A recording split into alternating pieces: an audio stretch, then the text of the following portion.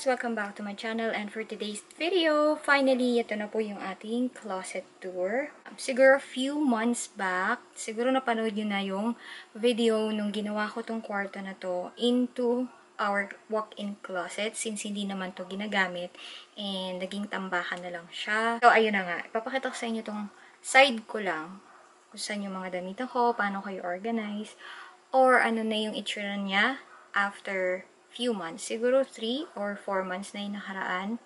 And ito pa rin yung kanyang itsura. So, dahil maliit lang yung room, iuusog ko kayo once in a while para magkasya tayo, okay? So, pagpasok ng door, kung nasan kayo or yung camera na yan, yan na mismo yung door. So, pagpasok nyo dyan, ito na agad yung side na makikita ninyo. So, sa side na to, nakahanger lahat ng aking blouses.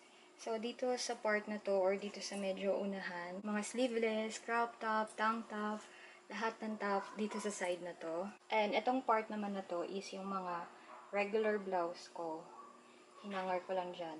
Short sleeve, mid sleeve, and long sleeve na blouses. Nandito siya sa side na to. And then sa part na to, yung mga tinupi ko lang. So, nandito yung aking skirt and mini skirt. So, yung skirt ay short na pa-skirt. So, konti lang naman sila. And then, sa part na to, so, ito yung aking mga t-shirt na pang-alis. And then, sa side na to, dito sa taas yung aking maong shorts. And then, yung shorts na pambahay, pang-swimming. And then, ito yung mga jacket ko and sweater na never ko nang nasuot after ko umuwi from Kuwait. And then, itong dalawang organizer na puti, nakuha ko to from Ikea. IKEA sa Kuwait. Tapos, ang laman yan ay mga tank tops or spaghetti strap. Inorganize ko lang yung color. And then, yung sunod ay ganun din. Puro sleeveless din to. Tapos, inayos ko lang yung color. Kasi ito yung mga sleeveless na okay lang na magusot. No need ng plancha, yung ganun. Unlike ng mga sleeveless kong to. So, sa part naman nito, nandito na yung literal na aking pambahay. So, ito yung mga t-shirts ko, pambahay. And sa part na to, yung mga pants ko and dress na sinusuot ko sa bahay. And ito yung part ng aking pantulog. Ayan, isang side lang siya. And dito sa baba, yan, medyo magulo pa to. And hindi ko alam kung paano talaga siya aayusin. Lahat to, mga bags ko na, na medyo malalaki. Wala pa kasi akong organizer or tamang lalagyan for my bags. So, kaya mukha siyang magulo kasi binalot ko lang siya sa mga sa parang eco bag na medyo soft. So, yun yung naging dust bag lahat nila. Dito naman tayo sa mga dress. Yung kalahating side na tong mga nakahanger na items, items, mga damit ay mga maxi dress ko, Sunday dress, ganyan. Super konti lang yung Sunday dress ko or yung mga knee-length dress. Majority talaga is maxi dress. Hindi ko na siya na-color coordinate dahil medyo magulo yung color nila and mahilig ako sa dress na may pattern para, ba? Kasi isang full dress siya. Gusto ko na yung may design and bold yung colors. So, medyo dito ko lang nilagay yung black. Yung mga formal dress. And then, nandito sa gitna yung mga printed or summer dress. And yung mga shorter dress ko dito sa part na to. As well as mga trouser, pants, na medyo manipis. So, sa part na to, literal, lahat ng damit na nandito ay long sleeve. Meron ding mga short pero super konti. So, nandito yung mga denim jackets and sweaters ng iba, cardigans. And the rest is puro blouse na pang office, mga business attire, ganyan. So, alam ko mainit sa Philippines. And baka magtaka kayo bakit ang init na nga, puro long sleeve pa yung damit ko. So, itong mga damit na to ay naipon and ito yung mga pang-office attire ko nung nagtatrabaho pa ako sa Kuwait. Dahil kailangan ko magsuot ng formal attire. Ayan, naipon sila lahat. Literal na puro long sleeve. Kahit mainit din sa Kuwait, malamig sa office kasi. And meron din naman silang winter season. So, hindi ko na malayan. Marami na pala akong long sleeve. So, ayan, ngayon, hindi ko sila nasusuot. Masusuot ko lang yata ito kung bumalik ako sa corporate world. Pero last year, nung nasa concentrics pa ako, yung iba dito nasusuot ko dahil malakas yung aircon sa work. But now, na work from home, wala. Display na lang siya dito sa closet. So, sa taas nitong aking mga long sleeve ay yung aking mga blazer or cardigans. Yan yung mga long blazers ko. Meron din shorts. And, ayan. And then, itong dalawang white organizer. Kapareha nung nasa kabila kong stante. From Ikea din to. So, itong sa taas, pang workout na mga damit.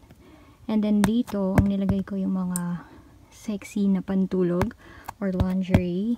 Hindi naman kasi nagagamit. So, Ayan. And then sa ilalim, andyan yung aking lagayan ng pants. So, yung mga slacks ko or medyo mas softer yung tela, hinahang ko lang ng pagganito. Yan. And then, yung maong and yung medyo mas makapal yung tela, nirolyo ko na lang, tas ginanyan. Nilagay ko na siya sa magkabilang gilid. Yan. So, meron yan dalawang drawers. At dito sa taas, yung underwear and medyas.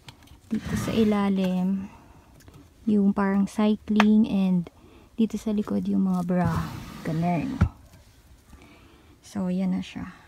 So, mula doon hanggang dito yung aking space. Sa ilalim ng mga dress ko, dito ko nilagay yung aking ibang shoes and bags. So, nandun yung mga bigger bags ko. And nandito yung mga sling bag and smaller bags. And then, meron akong rattan bags dito sa gilid. And dito rin sa likod ng mga nakahanger na pants, nandyan yung aking belt. And then, sa ilalim ng aking mga bag, yung mga shoes ko na hindi ko pa nagagamit, once ko lang nagamit. And I don't think na magagamit ko siya anytime soon. Diyan ko siya nilalagay. And yung iba kong shoes, dito ko nilagay. Yan. So, nabili ko to sa Shopee kulang pa nga eh. So, marami pa akong kulang na ganito. Para malagay ko lahat ng aking sapatos. So, yan.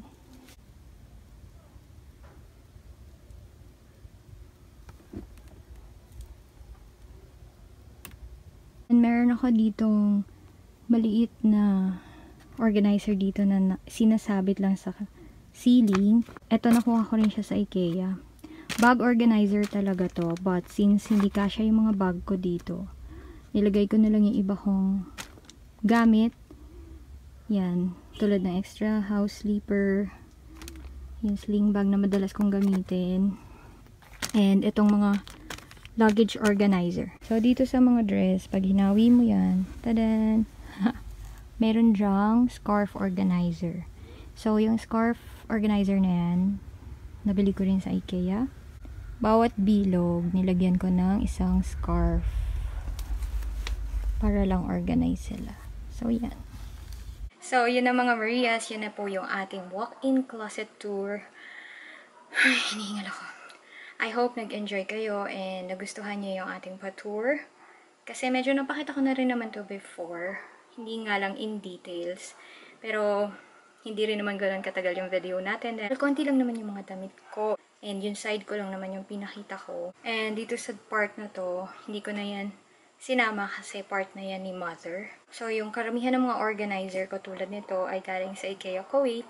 Kaya hindi ko masishare sa inyo yung link. Pero yung link ng shoe organizer, ilalagay ko yan sa description box just in case gusto nyo rin bumili nito. Maraming maraming salamat sa inyong oras. Kita-kits ulit tayo sa akin sa sunod na video. Bye! Marie, Marie, Marie,